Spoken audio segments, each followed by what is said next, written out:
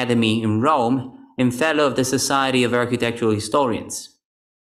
Diane Favro served as President of the Society of Architectural Historians, Director of the Experiential Technologies Center, and Associate Dean Academic Affairs for the UCLA School of Arts and Architecture. Diane's intriguing lecture tonight will project ancient Roman architecture into the contemporary world. She will address the connections between contemporary design and ancient Roman architecture.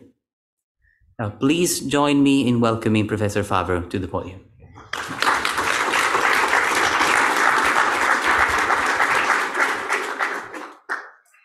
Thank you, Alessandro. It's a pleasure to be here for, for many, many reasons, most of which is to see friends, make old friends and make new friends. And so thank you uh, for coming tonight.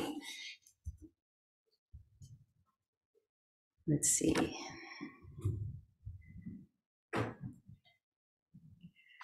Over the last few decades, scholarship on Roman cities has profitably responded to a wide range of turns, inspired by the agendas, tools, and methodologies of other disciplines. As researchers pivoted towards the spatial issues of the 1960s and 70s, they logically looked to architecture and urban design, exploring such topics as mind mapping, phenomenology, and networking. Half a century later, the study of ancient urban spaces is increasingly urgent as historic environments are challenged and deformed by intense urban construction, political exploitation, digital interrogations, tourism, and vandalism. Expanding and challenging extant boundaries and methods, diverse disciplines are flexing and colliding, experiencing such transdisciplinary redirections as the spatial turn, the digital turn, the sensory turn, and so on. Description of today's interactions between modern and Roman architectural studies as a turn seems inadequate to me, as it implies a rotation from one thing to another in a singular direction. A more apt metaphor is the highly spatialized form of a Moebius band, a topological construct with a non-orientable surface having only one side and one boundary curve, no start or end. The Moebius strip was discovered in the 19th century by A.F. Moebius, long before Facebook adopted it for Meta. It appeared much earlier in third century Roman mosaic depicting Aion, the god of unbounded time. A continuous form twisting over and seemingly through itself this band captures the unbroken, bending, realigning, layering, opposing, and penetrating interactions of approaches to space in modern design. These fluid maneuverings can trigger the reframing of inquiries about Roman space, which is going to be my subject today. The following selective examples focus on public open spaces and issues particularly relevant to design in the 21st century and consider three particular twists that to me offer um, particularly rich possibilities for the study of Roman urban environments, enactivating, permeating, and flowing. To begin, two essential challenges confound explorations of ancient architecture and must be articulated if we can't resolve them. First is the obvious difficulty of dealing with space an intangible design defined by its ontological vagueness. Familiar, pervasive, and transparent spaces hard to grasp conceptually as well as literally. How does one make it an object of study? Often space is explained architecturally as what is purposely contained by built works, or rather, whatever isn't built, or whatever's left over. Lacking its own edges, where does it begin and end? How can it be measured? Can it even be theorized? Why are ancient written descriptions of voids few and lacking in specificity? Was the urban space too familiar and yet too dispersed to be recognized and fully integrated or interrogated in the Roman world? This last question brings us to the second challenge of dealing with a non-living culture with fragmentary environmental remains and silent voices. Unable to talk with human occupants of Roman spaces, how can researchers examine their uses, their meanings, their valuation?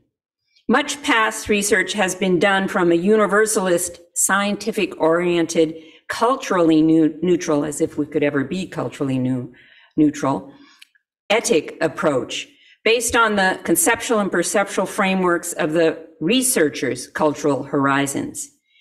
Increasingly, Romanists are exploring more localized emic tactics that attempt to parse or recreate or conceptualize for themselves uh, the meanings in the particular historical period. By interrogating both emic and etic tactics, scholars acknowledge they are not oppositional, but comp- complementary positionings, irrevocably intertwined. Both are useful and both are flawed. Well, let's now turn to modern influences between er, um, the past and today, but I'll start with the modern. The advent of realistic, comprehensive digital urban simulation models in the 1980s was touted as a boon to contemporary architecture and urban design.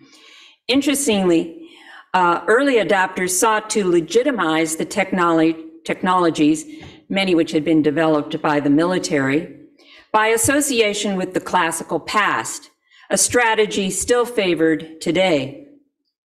First generation digital humanists, myself included, deployed simulation modeling to render classical architecture and cities, something only possible, by the way, in architecture departments, which had both the technology and the interest to do so.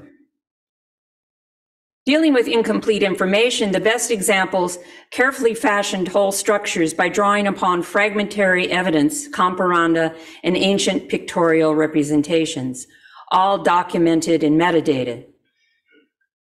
The completed simulations limited representations of voids or human activities, unrealistic viewing situations, and over and throughout there was always an overemphasis on high level viewing, that is looking down, and of course flying, because if you could fly, why wouldn't you? However, the process of creating the models provided notable advances in spatial knowledge. Most significant were the measuring and georeferencing of environments, uniform placement of monu- sorry, uniform placement of monuments helped to define and delimit public roads and facilitated comparisons of examples. And it drew attention to ground levels, to pavings, construction phasing, and subterranean features, which all became critical subjects. Vertically, the quest for reconstruction information for the upper portions of buildings sparked further study of viewsheds and, and shadows across urban spaces, as well as an interest in skylines. What was the skyline of Rome really like, ancient Rome really like? In the 21st century, more than half of the world is now living in cities. Contemporary pressure on uh, open urban spaces are challenging various fields including ancient studies, to reconceptualize why and how we study urban voids. Contemporary spaces are no longer examined as uh, spaces are no longer examined as unbuilt elements or as passive stages, but instead as living, evolving participants of city form and activities. This animation is leading to a greater dialogue between archaeologists, and contemporary architects and planners as all seek to harness new technologies, new approaches, new theories, and new attitudes to understand the effective qualities of space over and through time. Evolving from cognitive sciences, enactivism is the noun, is the notion that cognition arises through a dynamic interaction between living entities and their environments. The exchange is not merely informational. Both organisms and their surroundings actively and asymmetrically regulate the conditions of their exchange, and in so doing, enact a world. Simply, architecture and space provoke each other. In 1966, the perceptual psychologist James Gibson employed the term, the term affordance to describe something that compels certain actions people can or should take. Affordances are associated with action possibilities, readily perceivable by human actors and informed by culturally constituted signifiers communicating with actions that should take place and where they should take place. Simply an environment or interface affords opportunities for an action.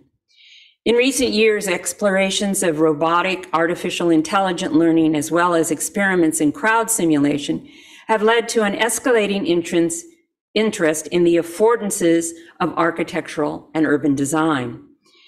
Among others, spearheading, let's see, come on.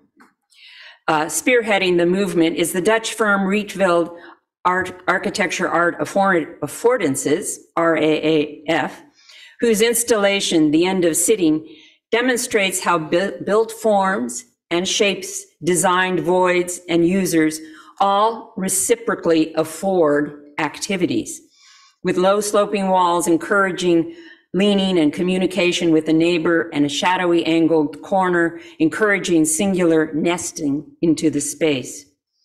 Together, the forms, voids, and humans create interactive, evolving ecologies enacted through and with sensory engagement. The current sensory turn is stimulating enactivist studies. The AHRC Sensory Cities Network at Brunel University in London utilizes sensory research to understand relationships between multicultural personal experiences and feelings in urban environments. They have developed a think kit, which you can get online, to frame, quote, the exploration of the urban sensorium and the design and implementation of research, unquote. Initial examinations of ancient sensory fields had focused almost primarily on the visual for obvious reasons.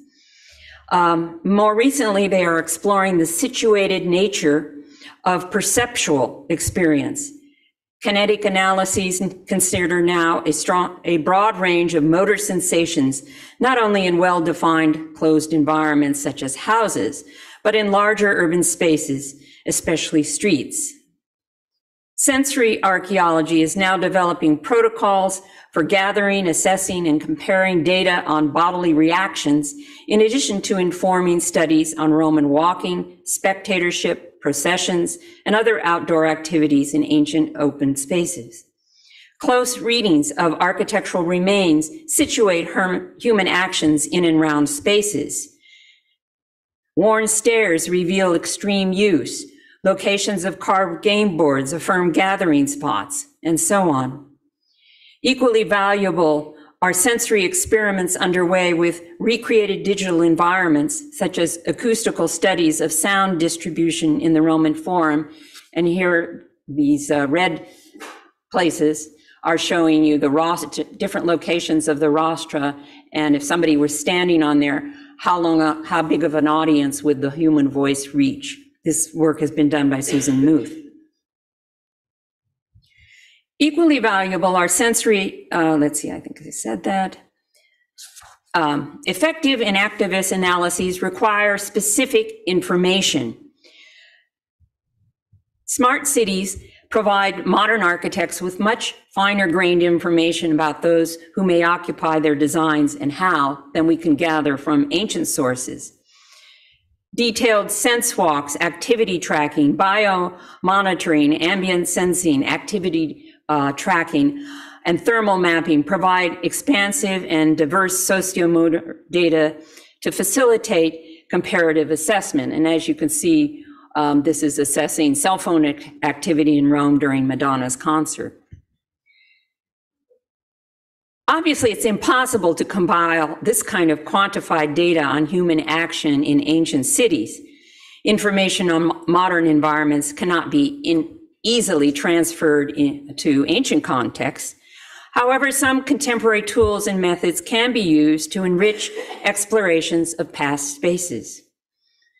For example, crowd simulations uh, software can provide insights about movement in large uh, ancient entertainment structures or spaces like the Forum or the Colosseum. Neuroscientific studies also open related avenues for Roman spatial studies. Research on action perception and empathy in relation to the aesthetic experience have the potential to inform and activate analyses of aesthetic emotional responses in specific environments. Um, and these are two emotion maps of San Francisco, and that big spike there is when somebody tries to walk across that freeway. But this, of course, you can't translate directly to have some Roman wear one of these monitors, but you can start to think about uh, emotional responses, fear fearscapes, for example, um, and other gut responses. And there are variations among individuals based on race, gender, and background. After all, sensory perception is culturally constituted and socially adopted. So we do have to think about um, the backgrounds of who is looking and what they're doing. Perception is some, not something that happens to humans, it's what they do. How can one successfully explore historic human spatial interaction about past dwellers without interviews and other documentation? Projected etic um, responses are useful. For example, we could say that um, here at Palm at uh, the curving pattern of pavers in the oval plaza complete compelled ancient pedestrians to follow along the curving sides rather than move straight across the central space and on hot days that the porticos entice them to loiter in the shade and walk along the sides. After pushing through the crowds in the Roman Forum, pedestrians might have changed their pace when they entered the Forum Transitorium with its gardens and flowing water and assumed more of a saunter that you would have in a, in a Roman villa garden. Such imaginary reactions seem possible but all remain hard to document and evaluate and are unavoidably informed by modern assumptions. Scientific protocols help legitimize spatial inquiries. Hard data about sensory stimuli acknowledging different climatic conditions provide researchers with comparable source materials. Shared open source documentation of sensory and archaeological data about ancient space is essential, including on-site measurements at different times and under different weather conditions, as well as collations of textual and pictorial evidence. Archaeological sites can be reconstructed as laboratory or reconceptualized, sorry, as laboratories for non-invasive experiments, uh, reactivating the spaces.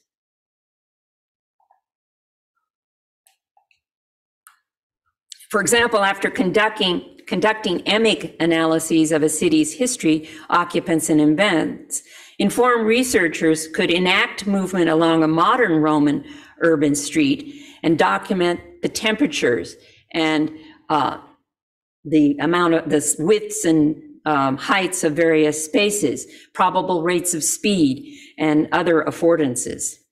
This soft data then could be collated with hard documentation of pavement heat and shadows uh, and so forth to determine where and when ancient people might have gathered.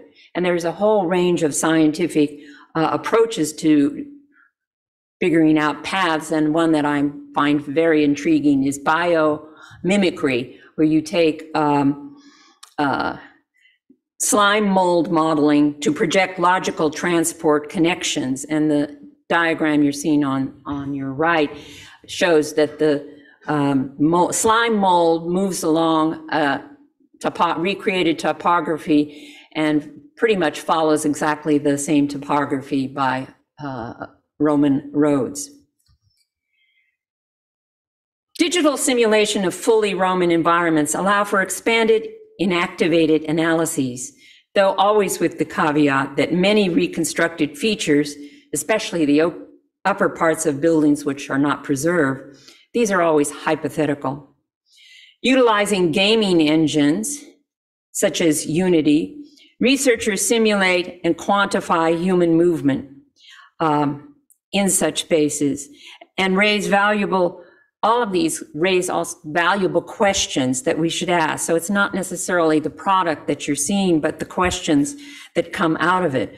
For example, here in a Roman Republican funeral, would uneven pavements and glare from marble stones hinder kinetic viewing? What was the projected speed of moving through the forum? Was construction noise halted when there were speeches in this space? Uh, and similar questions. The answers will always carry the taint of subjectivity, yet stimulated exper simulated experiments validate the study of urban space as intertwining void and solid, embodied and embodying experiences in a continuous self-referencing loop.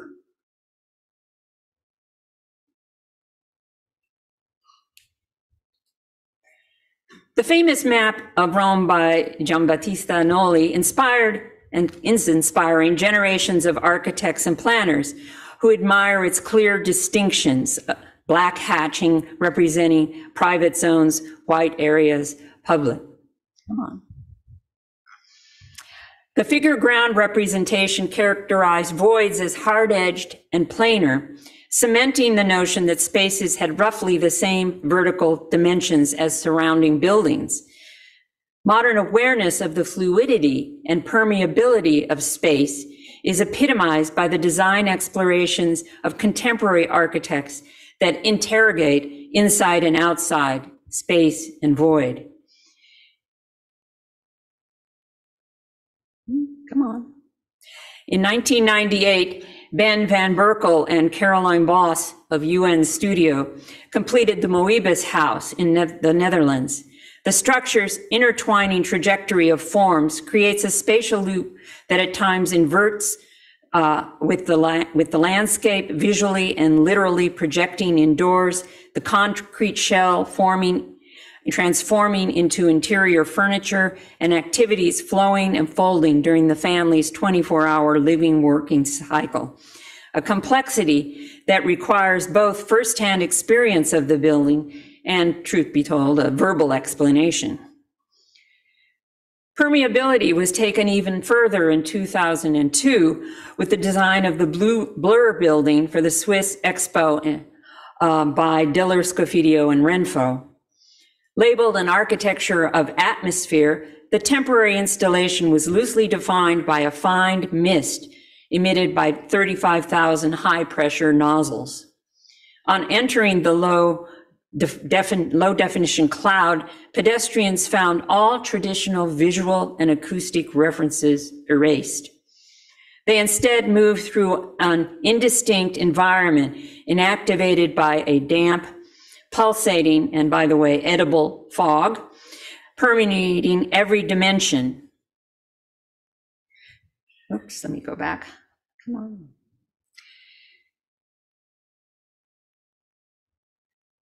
When the uh, exhibition ended, the Blur building was dismantled.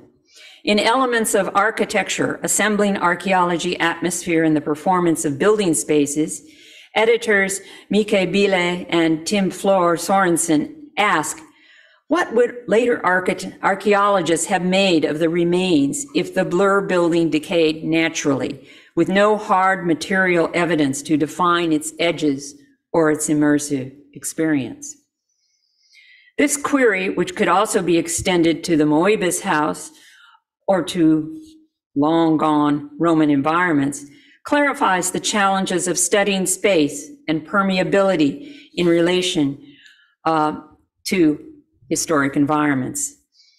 The attempted literalization and interrogation of loosely bound occupiable space emphasized in these two modern design projects are rare.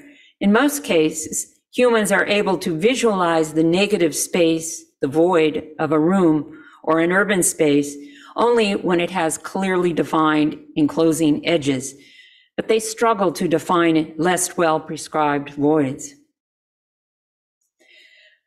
For the Romans, vision and words were defining. They identified the celestial vault as the portion of the sky that could be seen. When taking auguries to tell the future, a Roman priest sat in a specific spot looking upward and he waved a staff to loosely prescribe four aerial quadrants. How they were divided, I don't know, but he just waved his wand around. And uh, maybe having a, a, point reference, such as a tree or a rock, um, by interpreting every action of, that happened in that so loosely prescribed quadrant, birds flying, lightning, and so on, uh, he would tell the future. Simply, unconstrained space had to be determined by sight and by words, not by formal hard edges. And it was reinforced by gesture. Describing space by defining the visual field of an immobile spectator persisted over the centuries.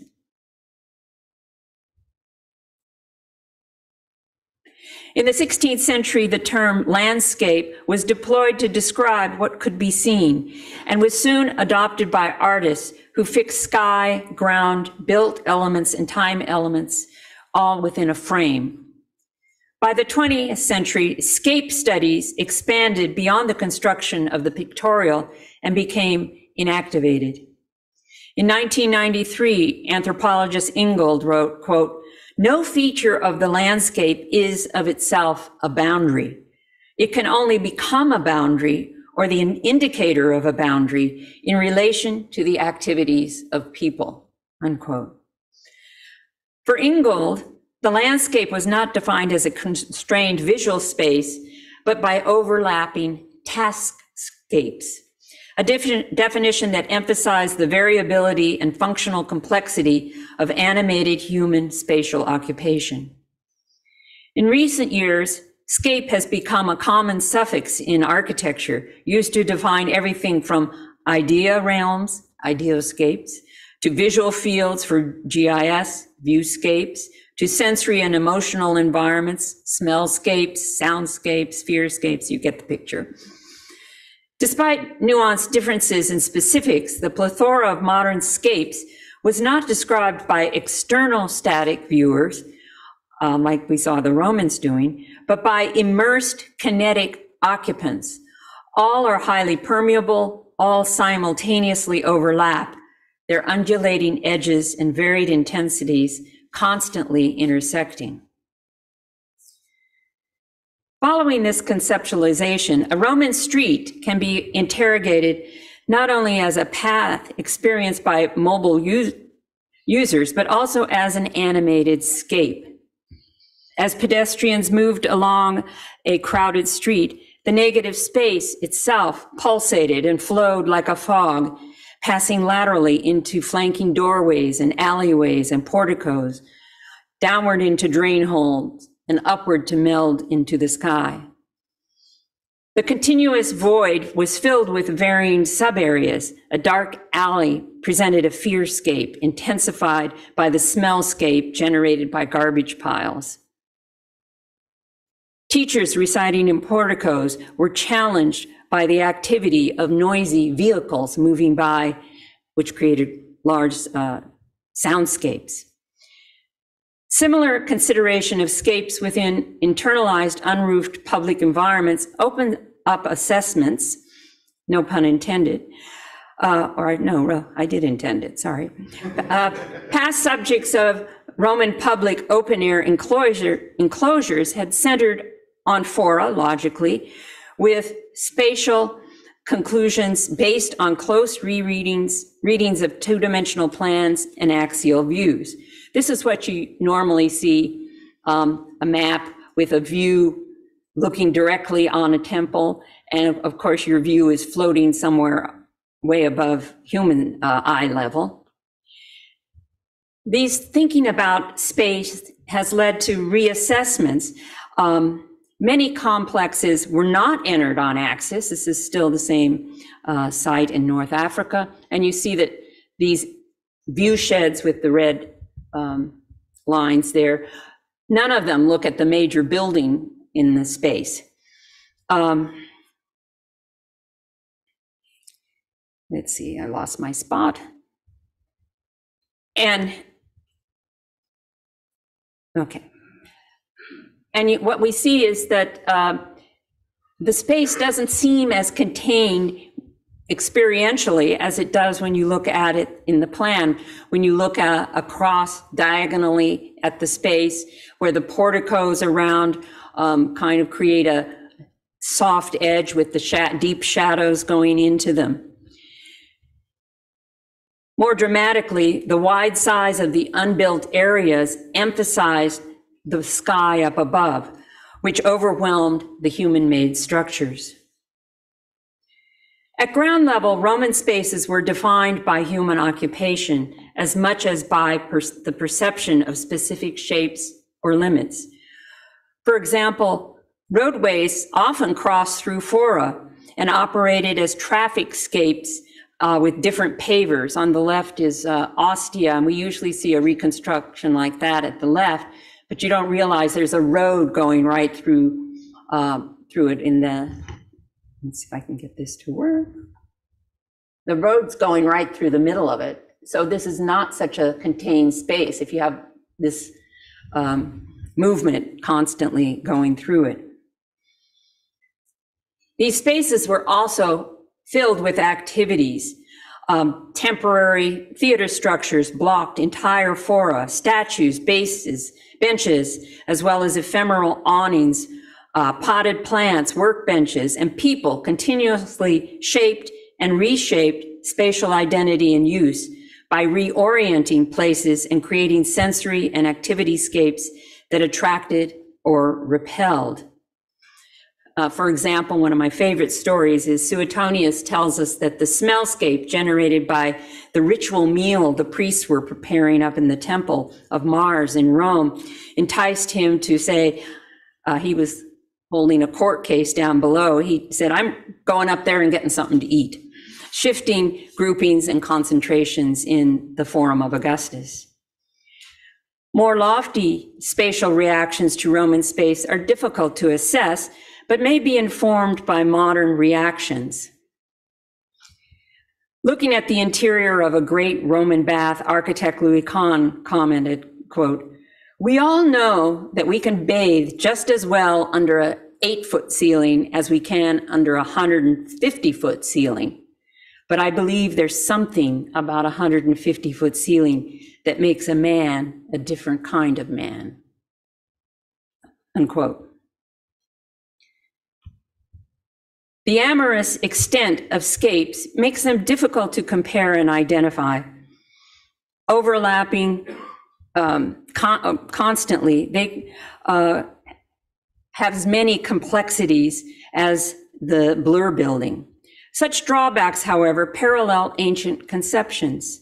In the Roman world, the lack of literacy, complex documentation, and readily accessed information compelled people to rely on impressions rather than precise uh, limits.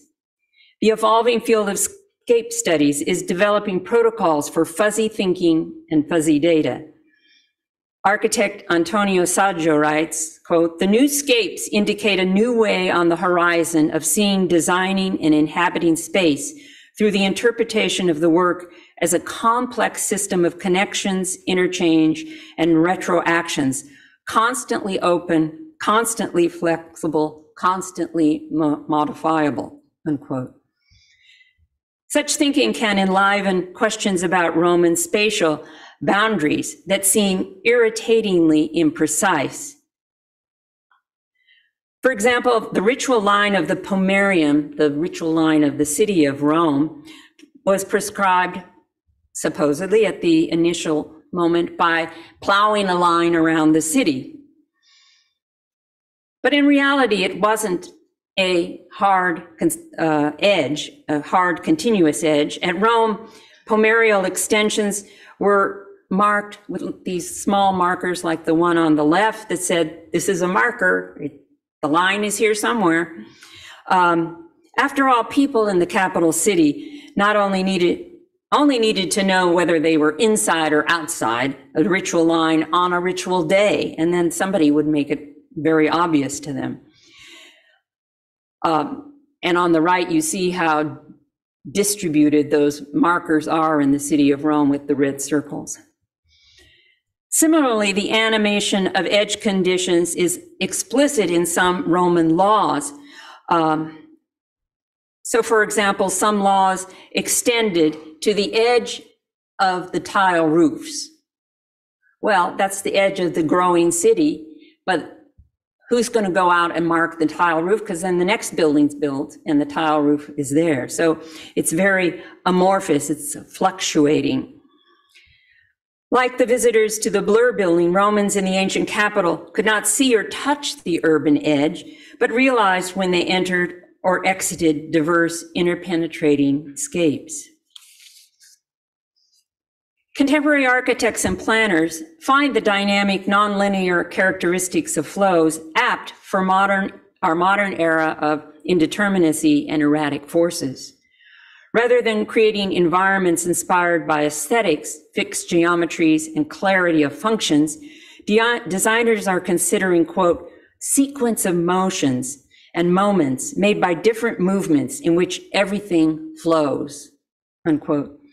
Examples abound in the work of Rem Koolhaas. Um, we've moved on to flowing, as you can tell. Um, and his firm OMA, uh, the torsion of voids and solids continuously confronts and confounds a structure from top to bottom, as in this example from Beijing. Such projects necessitate the thoughtful consideration of spatial flows that are always on the way to another instantiation. Thinking about flows can help recalibrate the assessment of ancient spaces by shifting the examination from their containment within a specific moment in time or a fixed built fabric to their fluctuating extent in greater temporal and physical environments. Plutarch in the first century wrote, to create a multiplicity or rather an infinity of cities by chronological distinctions is like creating many men out of one. Scholars and architects have long grappled with the di- difficulties of studying temporal flow of cities. A comprehensive time-lapse sequence of urban evolution can rarely be cre- recreated period, periodization is necessary and useful, as evident with the chronological layering of urban change in digital uh, thick maps such as this one. However, such slicing into temporal snapshots tends to deter examination of evolving, of the gerund, of ongoing. For example, labeling a building or space Augustan can be misleading uh, after all, he had a very long lifespan, and during that time, a single building could have been torn down, burned, collapsed, rebuilt, added onto, and so forth. The situation is further complicated by a reasonable but problematic modern preoccupation with identifying the finished form of buildings. Left with fragments, archaeologists naturally attempt to complete the puzzle. But this leads to privileging of one moment in a building's life, its idealized completion, rather than the rough realities. Shown here is a reconstruction of the Great Temple of Sardis, which is about the size of a football field, with 54 projected outer columns um, to make it complete, but the Romans only erected, erected 15. In recent years, the repeated use of the term afterlife continues to emphasize the perceived moment of completion rather than an evolving building life. As a result, there's very little outcry when ancient environment is when an ancient environment is reconstructed with buildings from different periods, all shown in perfected form as if all just came off the assembly line, freed from aging or transformation. By shifting attention to spaces, rather than built solids, the preoccupation with idealized completing build, completed buildings lessens, allowing for exploration of the diverse, intertwined temporal flows of ongoing experiences and instantiations. Buildings are extensive, expensive, and long lasting. They cast deep shadows over communities.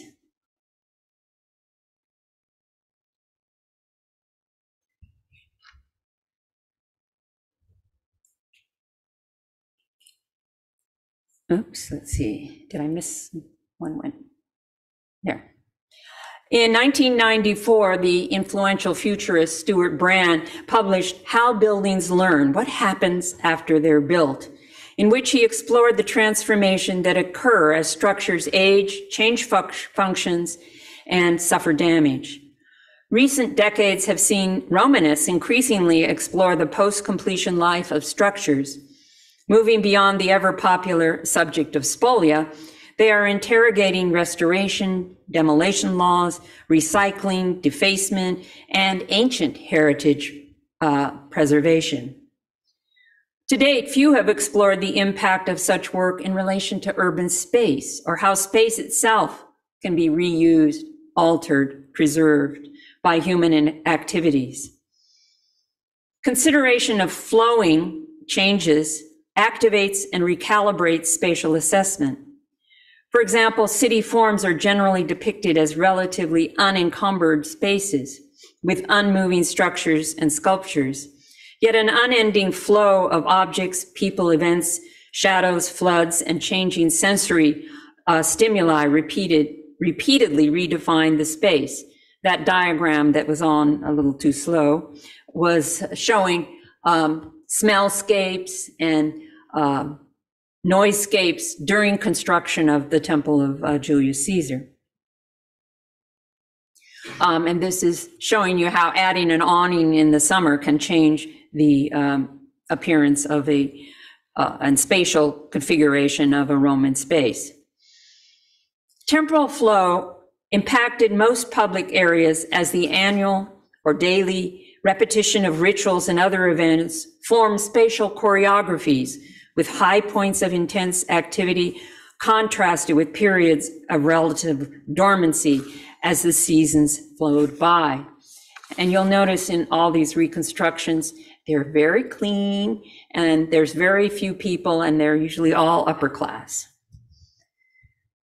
The evolutionary flows and twists of the lives of urban spaces are also revealed by a close examination of their creation.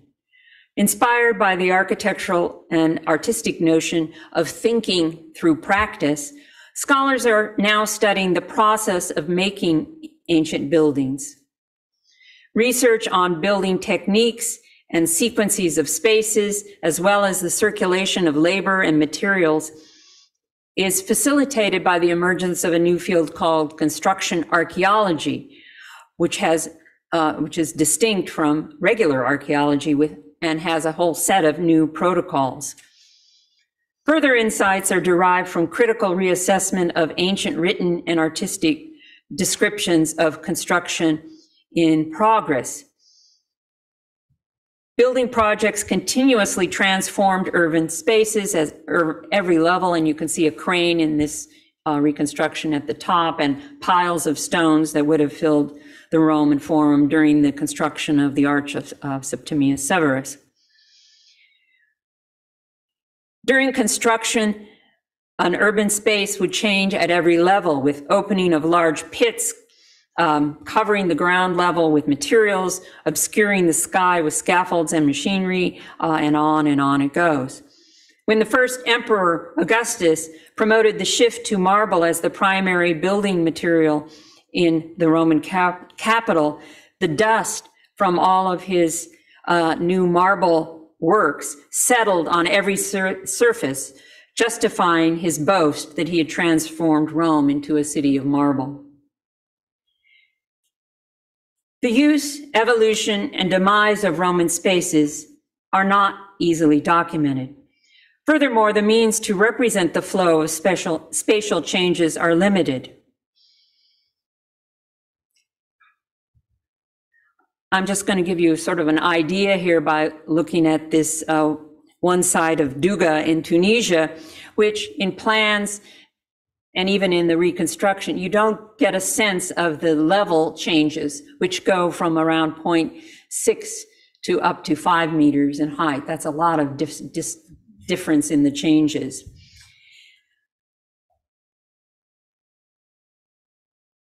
Architects um, have always tested concepts through visual representations.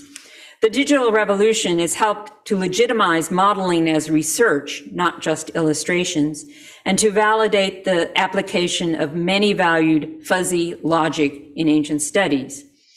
Roman researchers are now expand, expanding experimental archaeology, which previously had centered on how do you make a tool and then re, trying to recreate it.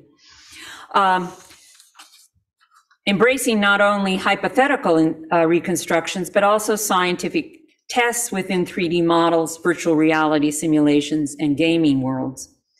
Such malleable creations promote investigations of flows within recreated spaces and across time.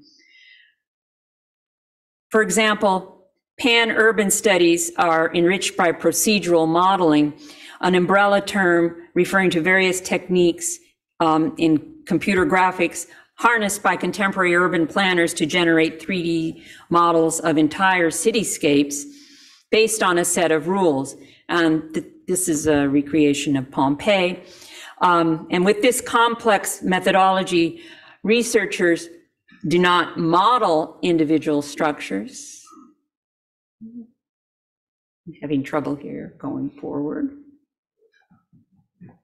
Ah, there, got it. Uh, it's based on uh, shape grammar, some uh, theory that was developed based on linguistics in the 1970s, um, in which they develop rules. So you write a pro, you basically program rules for every possible form, and then the um, the program will generate a new city. Every time you change a rule, it regen you can regenerate the city. Thus, um, this allows you to see the flow of spaces and to document every change. And this documentation is important because it gives this uh, for accuracy, of course, but it also makes these kinds of reconstructions seem more scientific and therefore more acceptable in humanistic realms.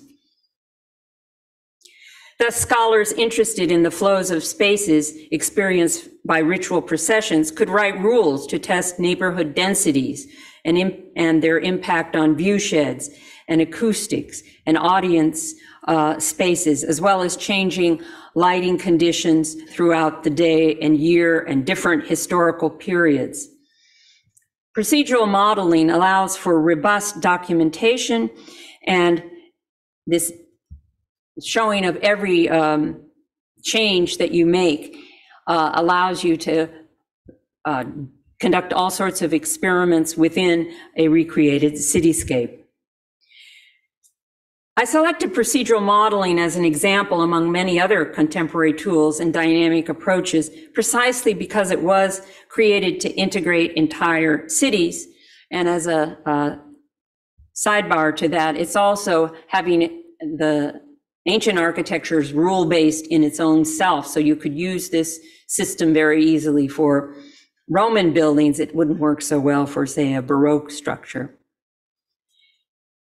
In the architectural world of the 21st century, the drift of design projects, issues, and connections is to ever larger scales.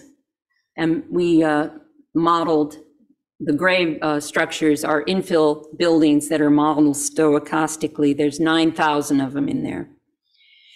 A preoccupation of the size of investigations was famously ignited in 1995 by the tome of uh, Small, Medium, and Extra Large by Rem Koolhaas, Bruce Mau, and Jennifer Sigler.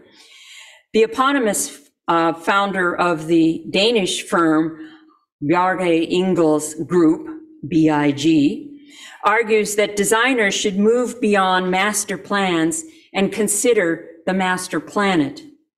Grand urban projects are complicated, necessitating collaboration across disciplines, and several are underway in Roman studies.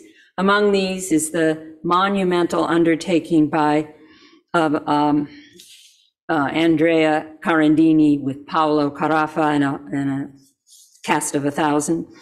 Um, to do this um, two volume Atlante Roma d'Antica Biografia e Ritratti della Città, which has a very expansive database, which they said originally would be made available and is not.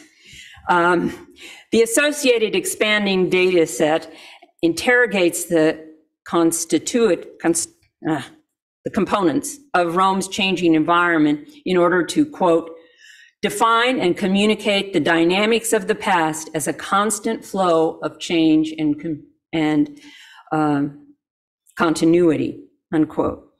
Oh, and by the way, that's over 1500 years.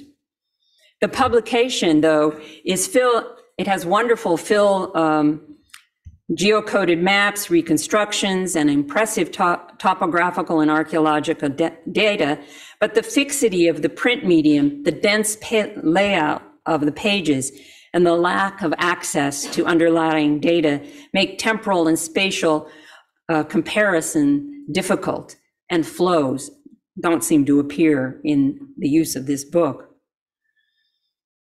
The swelling scale of inquiries logically is moving beyond space in cities to consider space uh, flows. Drawing on er interpretations of so, uh, sociologist Manuel Castells, modern designers and planners see today's cities operating within fluid global currents of interconnections formed by circulating ideas, funds, technologies, signs, commerce, images, symbols, and activities. Architect Delalex writes, quote, the space of flows relies on the simultaneity of events and interactions that take place over long distances, unquote. Most of these connections are non-tangible and immeasurable. To show you one example, in 2004, UNESCO launched the Creative Cities Network to promote cooperation with and among cities that have identified creativity as a strategic factor for sustainable urban development. Shared experiences and aspirations for place marketing link the members rather than similarities in design, setting, size, or even physical connections. Large-scale network analyses have long informed studies of Roman cities, but most concentrated on trade and traffic along physically connected routes.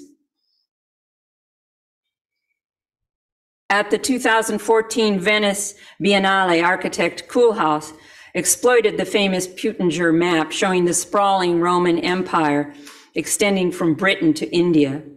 Touting the map as the first known representation of globalization, Rem printed an enlarged version on a sheer curtain that twisted through the exhibit. Its visual interpenetrability, fluttering animation, and scale uh, it was about 316 meters long, affirming, quote, that the world is always already connected with a complex network of exchanges and flows, unquote.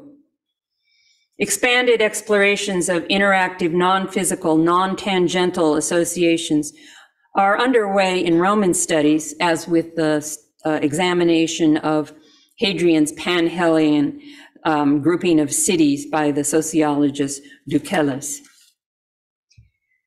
The layering of complex networks creates entangled textures described as meshworks. Anthropologist Tim Ingold wrote, it is in the entanglement of network lines, not in the connecting of points, that the mesh is constituted. Building on Lefebvre's disposition of uh, Meshworks, architect Greg Lynn explored the interoperability of twisting, intertwining networks in his design for the embryonic house, embryological house. In effect, a meshwork creates an ecology, or rather a series of simultaneous um, ecologies with features interwoven as well as interconnected. It's often described as something like felt that's all pushed together. Or, as I like this new term. Um, information terminologist Ted Nelson said, everything is deeply intertwingled. Horden and Purcell draw on meshwork theory in their broad reaching work, The Corrupting Sea, a study of Mediterranean history, which examines nonlinear tangles of people, goods, political power, and ideas connecting and disconnecting in and through broad spatial spheres, from cities to local hinterlands to larger administrative regions to the entire Mediterranean basin. This approach, approach can enrich as well as complicate thinking about ancient public urban spaces, inspiring re- researchers to explore, for example, how the spatial network of roads and plazas meshed with various conceptual and activity scapes, military scapes, religious scapes, and so on, or how human creators of objects and spaces themselves were created by their inverted networks. The scale and number of issues considered within such large spatial ecologies can seem overwhelming, evoking thoughts of the famous one to one scale map described by Borges, which was uh, the same size as the area it covered, and so it obscured what it was trying to show. On the positive side, thinking about large and complicated scales of flows regarding Roman public spaces inspires reassessments of interconnections between valuable, extra large, and extra complicated questions, such as how is Roman space classical? Can we identify specific spatial traits or styles for different areas? Is there a Hadrianic space? How did spatial choreography and wayfinding vary at different scales? Were the voids of Roman public unroofed areas designed as has been posited for those inside buildings? How can shifting our disciplinary and methodological positioning provide new insights? The challenge for future research is to allow for specific analyses of all scales along, across, and through the curves of inquiry, while simultaneously acknowledging the dense interconnecting meshwork of knowledge about Roman public spaces. I want to conclude by thinking about activation. Pushing beyond theorization, complex analytical tools and deep research underway, we should always remember that the meaning evaluation of public space is as evident through engagement. Entering the 21st century, Pressing societal concerns and threats to the conservation of past environments have prompted attempts to activate and inform the broader public about uh, ancient spaces. Stirred to action, practitioners in architecture and urban design are also exploring activist, often interactive performances and exhibitions to address and attract diverse audiences. Much of this work is interdisciplinary. Architects and designers are forging creative uh, collaborations with artists, dancers, scholars, and experts in cultural heritage and preservation to spark interrogations of the potent relationships between historic and modern spaces. For example, Joshua Stein generates a new spatial understanding of the much studied column of Trajan by analyzing its interior void through deep research presented in a book and a scaled model large enough to walk into. Um, his stated goal is, quote, to establish a methodology for the transformational use of our inherited patrimony through playful, but yet rigorous documentation, modification, and recontextualization, unquote. Situation viewers within, rather outside the famous column creates a startling and rewarding engagement. Jorge Otero Pailos challenges ideas of preservation and conservation in his art series, The Ethics of Dust, in which he uses latex, liquid latex, to remove centuries of dust, sweat, and pollutants from historic wall surfaces. When dried and separated from their physical remains, the resulting exhibits of the semi-transparent sheets suggest not only the original encounters, but the diverse human activities they once sheltered. By detaching surface accretions, he compels spectators to think about accumulations of dirt, humidity, and bodily odors over time. In his exhibit, Carthagonova, the surface accretions lifted from walls of Roman mines viscerally compares viewer, compels viewers to think about the conditions and actions of ancient slave workers. Performances in historic environments literally animate and intertwine past and contemporary spatial issues. And now I, let's see, what am I supposed to do here? The mouse disappeared. Thanks. Thank you. Um, as you'll see here uh, in this um, performance, see if we get some sound, uh, by Bryony Roberts and Melissa Lohan, who deploy dancers with clicking measuring rods to enliven the potent void of the Capitoline Plaza in Rome and activate the famous pavement design, underscoring the power of sound and movement to reconfigure space. Such lively engagement attracts spectators of all types, informing the public while also compelling people to reassess their ideas about connections between the present and the past, the void and the solid, the empty and the occupied, the environment and the senses. For researchers, such exhibitions and performances are provocations for ever richer, more layered studies that consider the longue durée of spatial imprints. The, thank you. The connection of architectural practice and historical studies, thank you, remains vibrant. In the complex environments of the 21st century, the Moebius strip provides an apt metaphor for studying the pervasive themes in spatial studies that constantly form, deform, and reform in and through time. Many parallel interrogations in other fields are underway, but here with a vibrant architectural term. With each twist comes a shifting viewpoint that enriches knowledge, production, and in many cases forges provocative new disciplinary collaborations and approaches.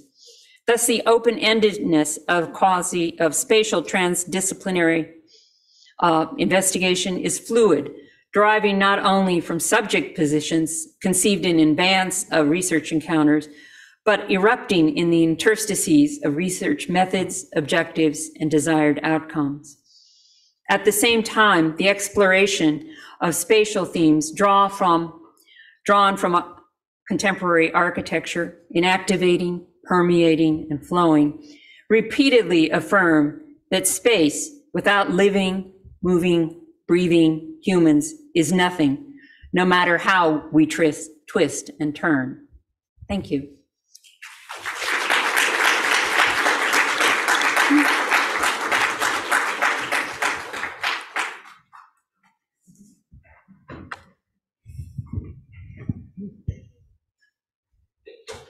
Thank you so much, Diane, for an inspiring uh, lecture. Yes. Can you hear me? Yes. Um, um, let's floor uh, some questions or comments and observations from the audience.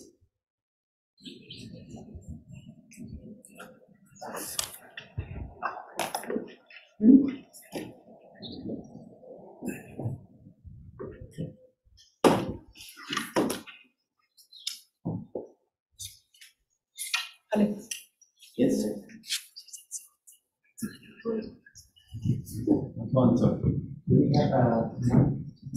Sorry. Um, when you pose the question, how is Roman architecture classical? How would you go about answering that, or what do you think the next steps are in trying to answer that?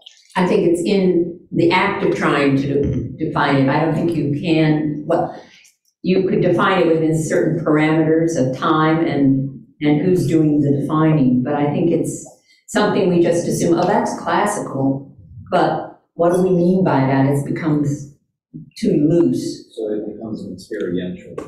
Yeah,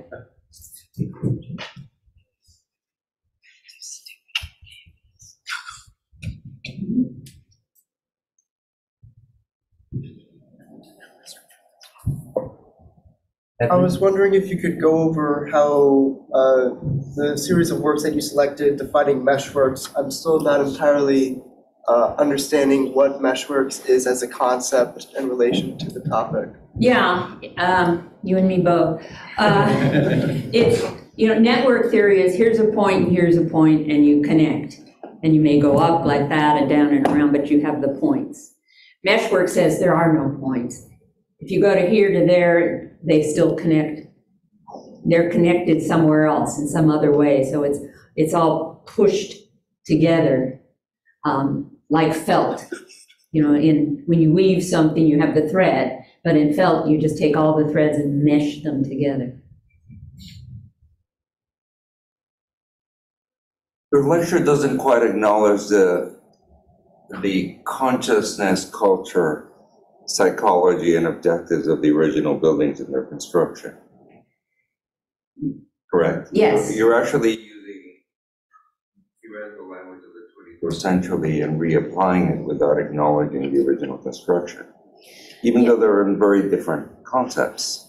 Yeah, One of them is the late capitalist uh, theory of impermanence and movement that does not, in fact, value that any building or even any public space has permanence, idea, or value, right? So you're putting it under a modernist heuristic.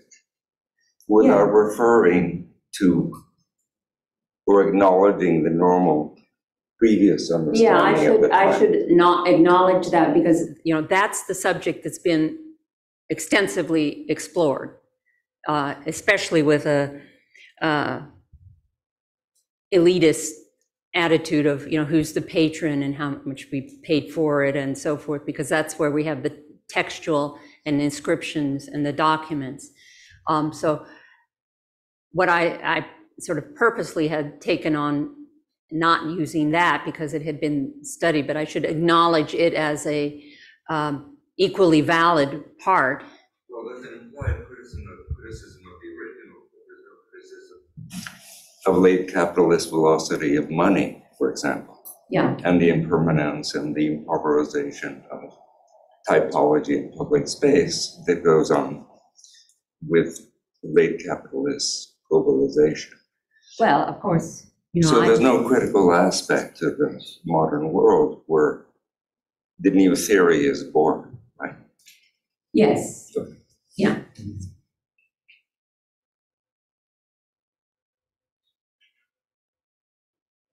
I don't know, I- Uh, thank you, Diane, so much for such a wonderful and just rich and exciting talk. I, I don't really have a question, I have more of a a comment, which is your really brilliant insights into restoration and how we think about that. Open, I think, a really interesting door into exactly what that process means for our later friends, starting especially in the 15th, but in the 16th and 17th, and as I know best, the 18th century, who try to engage in that practice, looking at these same, same sites. And how the, one of the antiquarian's goals always to reconstruct something becomes much more, uh, uh, much more foggy, uh, I think, than, Yes. than we have necessarily considered it to be, because we, we've looked using these kind, these kinds of reconstructions that you've shown in the earlier part of your talk, and we accept that that is what reconstruction or restoration means, uh, without thinking critically about what does that, how foggy that can be. Um, Yes, it can be foggy on a, on a lot of levels, so, but I'll just give one that um, comes to mind. In the late antique period, in the Forum, there were all these statue bases and such that were made out of the pieces that were laying around there. And they were always thought, oh, those, they just were, didn't have the money to get new ones or something. But they really had meaning and why they would take one piece, even if they take the inscription and put it upside down. The use of it and its reference to maybe an emperor or something had some resonance in it and the materials. Gregor Kalas has done a lot of work on this. Um, so the act of uh, restoration and reusing materials was very meaningful. And, you know, by the Renaissance, they're getting more towards the less meaning in the material and more in what was the ideal form. So there's that sort of trajectory. I also have an observation, uh, Diane, triggered by your, that revealed the beginning of your uh, lecture. Um, uh, you, you mentioned that uh, a traditional approach of uh, scholarship of antiquity, ancient architecture, is to uh, concentrate on the building rather than on the space. Yeah. Uh, even less on the experience Yeah. of the void, connecting the, uh, the individual buildings. And, and uh, so you, you, at some point you discussed the, the building shrouded in, in the clouds. Yeah, I forget what, what it was called. And the, the emphasis, as, as you uh, described, was, was on the, the, the experience of it. The experience of, uh, you know, approaching the building and, and going through that edible, interestingly edible fog.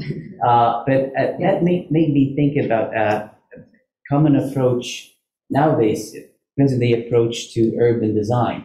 Mm. That uh, urban design, uh, perhaps interestingly con- connected with that uh, focus on the building, it is nowadays oftentimes or almost invariably an object-focused approach. Mhm. Uh, meaning that even at the urban level, which sounds absurd, and, and it is probably, uh, such that the uh, you you uh, individually conceive of the the parts, but not necessarily of the connecting void. And and when you do that, inevitably the void the void the void sorry is going to be interstitial and, and undefined in Under- quality. what's left over, yeah. Exactly. So there's, in in a, in a way, there's a lot of emphasis in the, in the area uh, between uh, uh, contemporary art and contemporary architecture, a lot of emphasis, emphasis on the experience of the building. But the, the, at the urban level, there's still, in, in my opinion, uh, a lack of attention to the, the kind of experience that we're building for, for the users of the city. Yeah. So that And really. That's uh, exactly, I think, a problem. Today, and we're studying the past too, we show these pristine environments for fora, and they were messy and uh, used in various ways, and also for political and capitalist agendas or imperialist agendas in many cases. And uh, I think these approaches, you know, are nudging us to start thinking differently. I tried to make, uh, you know what a negative space model is? You model the void instead of the building. Trying to make one is like crazy because it has the edges blur and just what, how do you draw that? How do you do it on a computer? I haven't come up with any good way to do that. Build the whole thing. I have a, first of all, thank you, Dan. That was a very interesting lecture. Uh, Also, you showed us multiple ways of approaching the thought process around seeing the forum. It's a topic that you've covered for more than two decades. And to see you look at it in a different lens altogether was very interesting. My takeaways um, that I took very, uh, like, that will go with me for a longer time is freezing of time. I think you spoke about that beautifully when you said you cannot see the forum as something that was a solid time frame that you can just cut and say this is how the place looked. And it's not just about the forum, but also any place. Mm-hmm. The evolving nature of any area and the way in which it functions and works, I thought was very provocative as a thought process and should be looked at more carefully because this is what many of the scholars have done.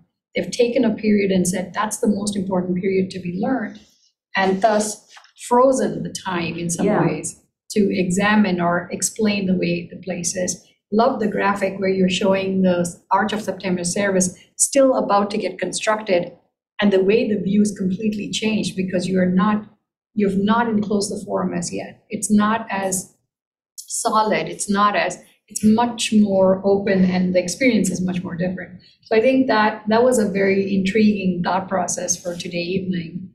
The second one I found very intriguing was the perception of the eye. And the fact that many of our visuals are mostly meant to be as if we are hovering from above, and not really experiencing the place from the perception of where a person stands and visualizes the space.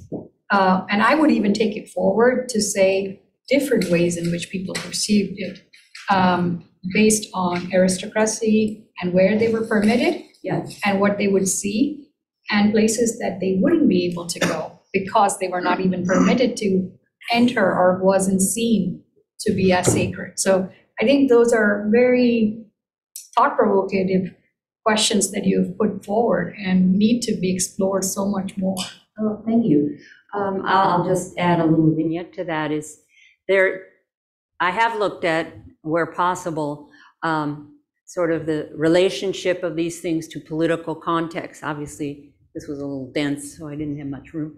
Uh, but I had the, I have written about the, the uh, cranes with their guide ropes for the building of the Arch of Septimius. And they all had, would have had to come down right in front of the Senate and block the Senate just when Septimius was pissed off at them. So, you know, there's a, you can make that political as well.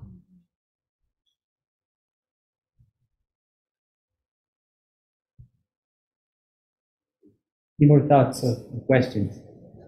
I'm just curious about something because I think this is very interesting. You know, you're, you're talking about you know the activation. This is a, these are spaces that were constantly used and constantly changed. The fact that you know when you show the uh, what's it called the you know when they're covered up with tents or the tarps, the Awnings, yeah. the awnings. It was you know we've seen it like in the Colosseum that it has the but we never actually see a model or anything in history of it being used, and I just thought it was interesting. Uh, and I'm just curious. I know we're talking about Rome, but is has anybody done this in you know other cultural contexts? Uh, because I, I would be very interested to see. You know, we we we are very used to seeing westernized. I would love to see maybe like in Mexico City how this was when it was Tenochtitlan, or you know in India or Yeah. in other places. Has has that been? Yes, there's been two conferences recently on ephemeral, ephemeral architecture, ephemeral environments, which include, it's primarily, these are focusing on uh, South American contexts. I don't remember the exact name, but um, if you look up ephemera, and you'll, you'll find it, or email me if you don't, I'll, I have it written down. Uh, Because I'm really interested in ephemeral architecture, which uh, would have re- really changed the environments. And um, I should say that I didn't mention this, but uh, there are some places in Asia Minor where you can go. Magnesia is one of them, where there's the the what we would call forum, but it's or agora, but it's a Greek to Roman, so it's both. Um, and on the paving, paving, they say this is where the group from this in- the village we're standing. That's where the women stand, and it's scar. You know, it's inscribed there. This is where women stand. So there we can give a little bit of something about where people were, but otherwise it's very difficult.